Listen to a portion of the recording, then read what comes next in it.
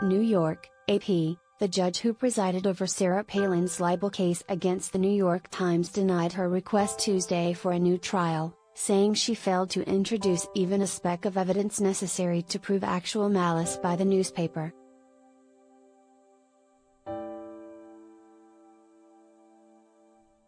U.S. District Judge Jed Rakoff made the assertion in a written decision as he rejected post trial claims from Palin's lawyers.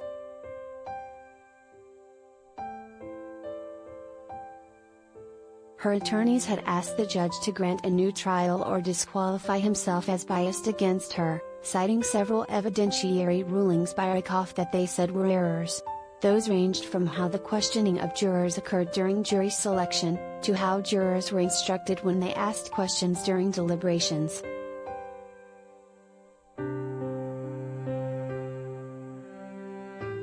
In actuality, none of these was erroneous, let alone a basis for granting Palin a new trial, the judge said.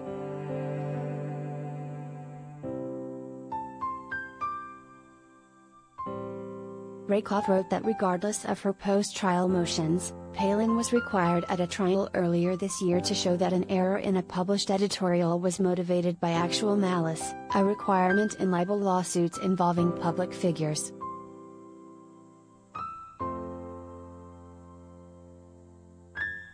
And the striking thing about the trial here was that Palin, for all her earlier assertions, could not in the end introduce even a speck of such evidence, he said.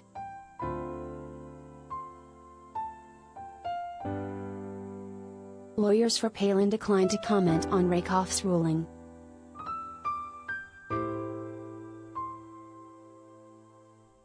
Lawyers for the New York Times did not immediately respond to comment requests.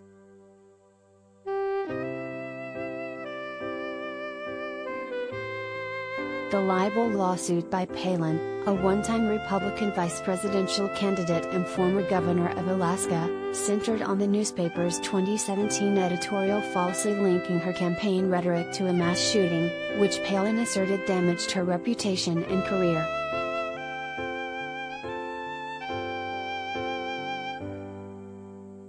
The Times acknowledged their editorial was inaccurate but said it quickly corrected the errors they called an honest mistake never meant to harm Palin.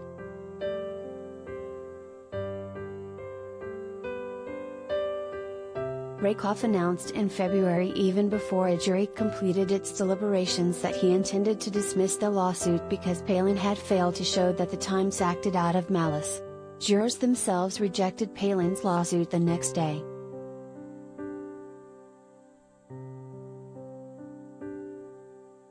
Rakoff said he thought it was fair to all parties not to wait for the jury's verdict because he had already decided as a matter of law that the Palin hadn't proven her case.